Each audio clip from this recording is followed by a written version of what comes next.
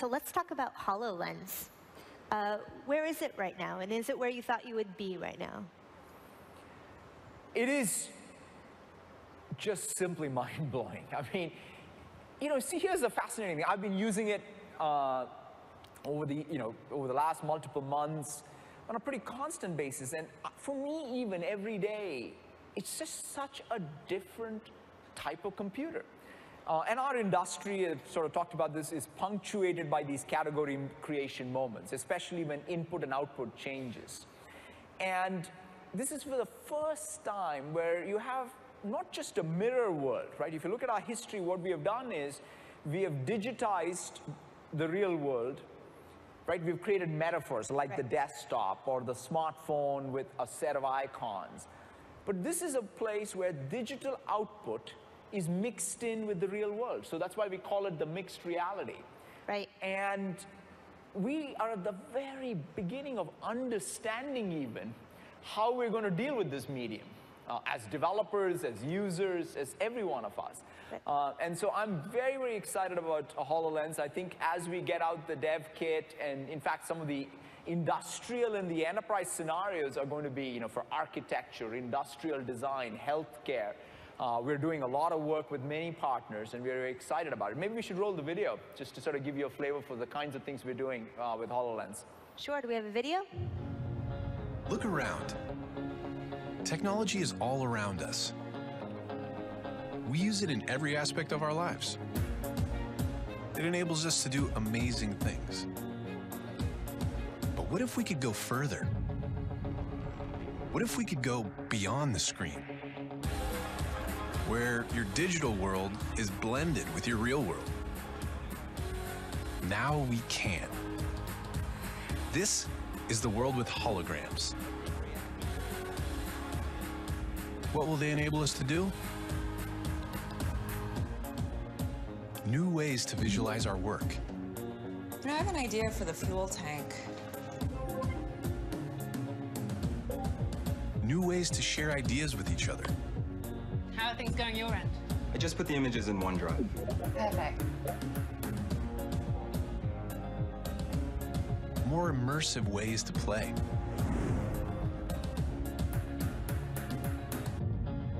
new ways to teach and learn. So put the new trap in the place of the old one. Now what? And tighten here and here. New ways to collaborate and explore the places we've never been. Look at this formation. Let's take a closer look.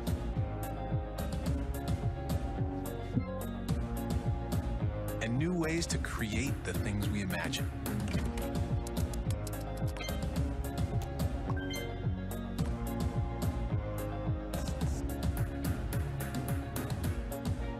Because when you change the way you see the world, you can change the world you see.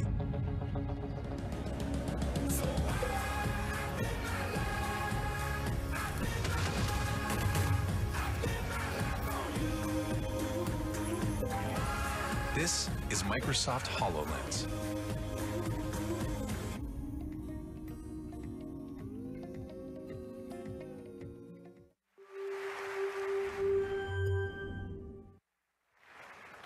Satya, that is, that is so cool. I don't think there's anyone in the audience who wouldn't look at that world on that video and think, I want in now. so how close are we really? um, the last public thing I've said about this is that we will get it out in um, a dev kit in uh, by next year for sure. And uh, so we, you know, this is going to be a five-year journey because we really uh, we want to get it out, get it out to developers, we'll get it out to enterprises, um, and then we'll learn. Uh, but we'll get it out next year, and then uh, we'll iterate from there. So the developers that you're going to target with this, I'm curious who they are as well. And um, you know, my my godsons are too. They would like you to get right on the Minecraft version of that. That's right the Minecraft, you know, gaming is also going to be reimagined for this because it's very different. Like what's happening, obviously, there's, you know, the PC gaming, there is uh, mobile gaming, there's Xbox gaming.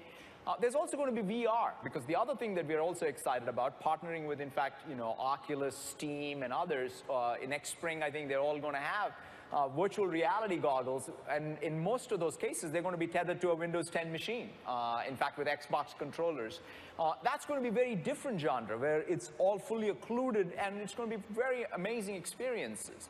AR or mixed reality is about mixing the real world and the real uh, and the digital world. In fact, that's kind of the thing. I, I put it on and I roam around my house and you continue to have your conversations uh, and you literally have these digital artifacts. Um, and so it's, it's different. And gaming is also going to be reimagined. So to your point about the kinds of developers, even the classic game developers are, like Minecraft are building a very different type of game for this new medium. Right. But I guess what I'm getting at is the, audience that you're really interested in initially is an enterprise audience for this, right? It's going to be definitely the single application used in the enterprise is going to be easy. Already we have good traction, the industrial design. I mean, if you use AutoCAD Maya on HoloLens, there's no going back uh, if you're an industrial designer because you literally see the output of what you're designing right next to you and you can imagine. Architects, the same thing. Right. Uh, so those are easy to, I think, imagine. Now, what are the, all the other use cases? You saw Skype, right? Right. That's the thing that we're going to sort of look at and see how that changes how people communicate. How does customer service uh, change? Right. How does gaming come through? I, for example, watch a lot of video. Uh, I found it like, hey, even Coursera. So I put up Coursera on one side and I have my Edge browser on the other. And I find like, wow, this is a fantastic digital learning platform for me. Um, and so there's lots of different things and we'll, you know, time will tell. But we are very, very clear that there are some enterprise scenarios that we already think are going to be big hits. Right.